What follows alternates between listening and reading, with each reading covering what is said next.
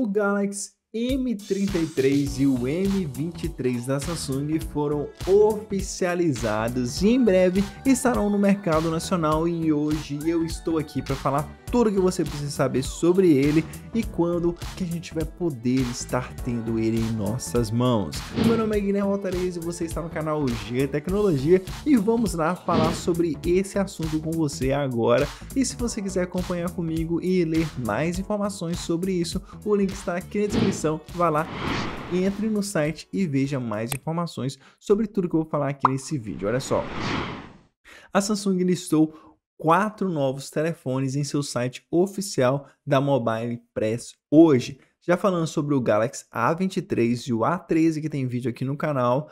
E agora passamos para o Galaxy M23 e o Galaxy M33. Então se você quiser saber sobre o Galaxy A13 e o A23, tem um outro vídeo aqui exclusivo só sobre eles. Olha só, o M23 e o M33 são dois modelos muito semelhantes em especificações e não em aparência. Ambos os telefones possuem tela TFT de 1080p de 6.6 polegadas, além de câmeras principais de 50 megapixels, câmeras ultra-wide de 8 megapixels e sensores de profundidade de 2 megapixels. Mas aqui é onde as coisas se diferenciam. Então, antes de passar para a próxima parte, já vamos falar aí sobre essa tela TFT. Hum, TFT, eu não acredito que ele viria com a tela TFT, eu acredito que seria mais uma tela IPS, porque a Samsung costuma ter uma qualidade muito boa com relação à tela, porque sempre lança na sua maioria dos celulares intermediários versões aí com tela AMOLED. No entanto, uma tela TFT poderia ser uma indicação de que vai ser um celular mais barato e mais básico aí para as pessoas que estão querendo comprar um celular mais baratinho. No entanto, com relação às câmeras, aí você vê que ele está com câmera de 50 megapixels na traseira, o que eu estou vendo uma tendência a partir de agora nesses celulares lançados aí tanto pela Samsung quanto pela Xiaomi quanto pela Realme, que são essas câmeras de 50 megapixels traseira que eu estou vendo que é o foco agora dos novos celulares para esse mercado aí que está exigindo muito qualidade nas câmeras. Então vamos olhar aqui agora para a próxima parte que o M33 possui uma bateria maior de 6.000 mAh, uma câmera macro adicional de 2 megapixels e mais RAM, começando em 6 GB e indo até 8 GB. A Samsung ainda não divulgou os detalhes completos, até agora sabemos que o M33 possui um chipset octa-core. Então a gente vê aí que a diferença do M33 é que ele tem uma câmera macro a mais. O que eu acredito que não faz tanta diferença, porque essa câmera macro eu sempre falo para vocês que é uma câmera praticamente inútil que você pode pegar o seu sensor principal, dar um zoom nele aí, que você vai ter uma qualidade melhor do que se você tirasse com a câmera macro.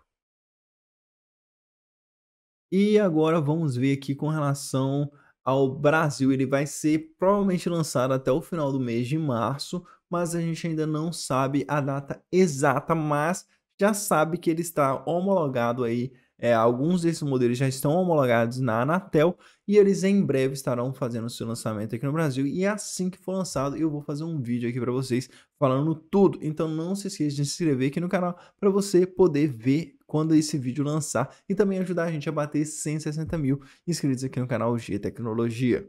Agora o Galaxy M23 possui uma bateria menor de 5.000 mAh, não possui a câmera macro, igual eu falei, não faz tanta diferença assim, e ele é fornecido em uma única configuração de 4/128 GB, o que eu acho bem legal, principalmente se for um celular de entrada. Se ele já é oferecido com 4/128, já é excelente, porque é um, um mínimo aí agora que a gente está tendo de um desempenho tranquilo.